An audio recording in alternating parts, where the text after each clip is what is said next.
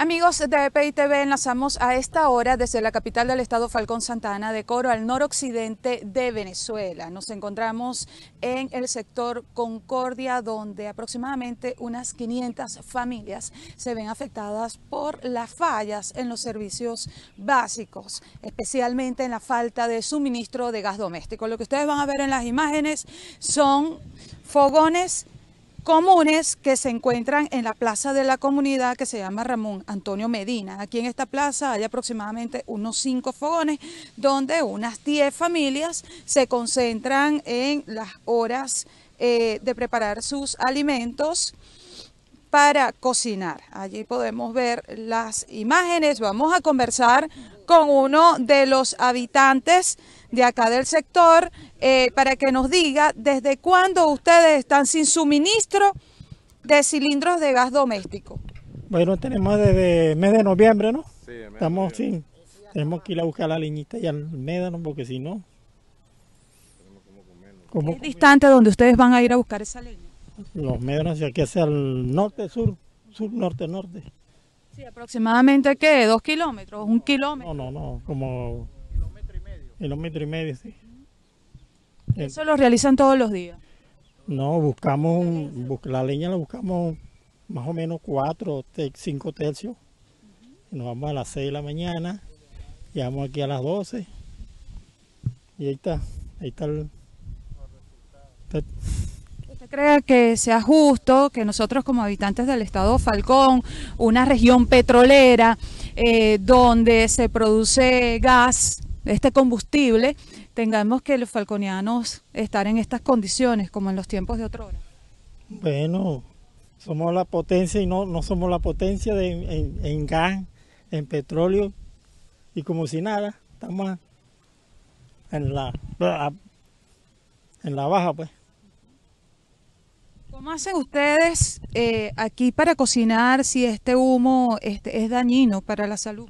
Bueno, aquí tenemos, aquí nos perjudicamos porque estamos en la parte de abajo la, parte de arriba del aeropuerto y no... causa enfermedades respiratorias en niños, en adultos? Bueno, al lado arriba sí, sí causa, pero aquí no, aquí estamos más o menos que... ¿Qué les responden las autoridades? ¿Cuándo les van a suministrar gas doméstico? O sea, ¿han hecho presentes acá en la comunidad? Aquí no, a las, a las, hacen a los consejos comunales hacen la jornada, recogen, se tarda para venir y dura un mes esperando el gas. Seguimos igualito. ¿Qué otros problemas tiene acá la comunidad? Vamos a conversar con otro vecino de aquí del sector, ¿eh? porque esta comunidad también tiene otros problemas en cuanto a los servicios públicos.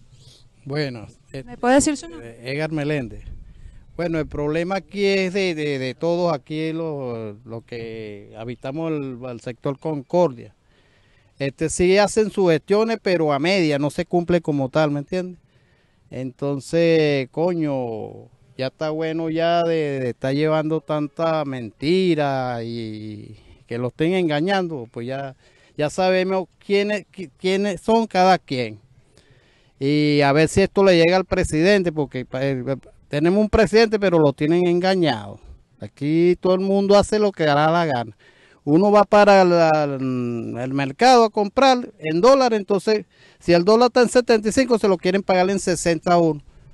Más el producto, más el producto ya lo tienen a precio muy elevado porque el bendito dólar ese, que yo no sé cuándo es el día que se va a, derrumbar. Entonces el que sufre es uno, el, el, pendejo, vamos a decirlo así, me disculpa la impresión.